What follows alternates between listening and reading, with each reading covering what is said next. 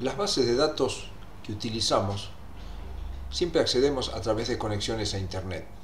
Por lo tanto, no están exentas de los problemas que la red nos ocasiona, como ser problemas de conectividad nuestro o de los servidores que tienen las bases de datos que requerimos. Por eso vamos a ver en un breve video soluciones rápidas para eh, estos problemas que se nos pueden presentar. Veamos por ejemplo estamos en la base HMDB y supongamos que buscamos la palabra glicerol. Y vemos que está eh, eh, temporariamente suspendida por algún problema eh, del, del servidor. Entonces, ¿cómo podemos solucionar este problema? Bueno, accediendo de otra base. En este caso, por ejemplo, mostraremos una, una base muy interesante que estudiaremos.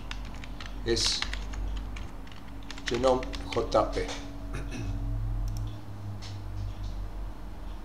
Acá eh, podemos ir a la tabla de contenidos, por ejemplo. Y acá tenemos, estábamos buscando glicerol, entonces acá también tenemos una base de datos eh, que es eh, compuestos. Entonces, accedemos acá y acá tenemos para buscar compuestos. Vamos a hacerlo con la molécula que se, hace, se trabaja en la ejercitación número 1. En lugar de glicerol vamos a usar el NAD. Entonces accedemos a través de esta base.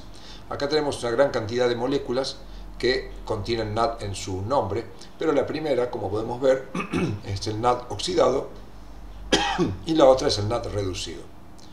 Hacemos clic en NAD oxidado y nos lleva a una página donde tenemos datos, pero quizás no los que nosotros requerimos. Sin embargo, acá tenemos eh, eh, otros links que también podemos ver.